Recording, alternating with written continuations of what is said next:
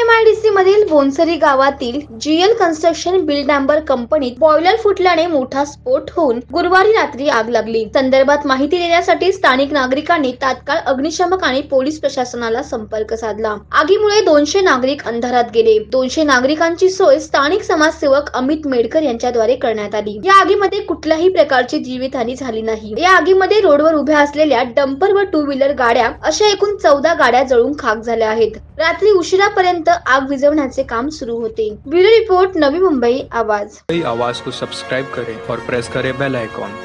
और पाइए नवी मुंबई और पनवेल से जुड़े ताज़ा तरीन खबरें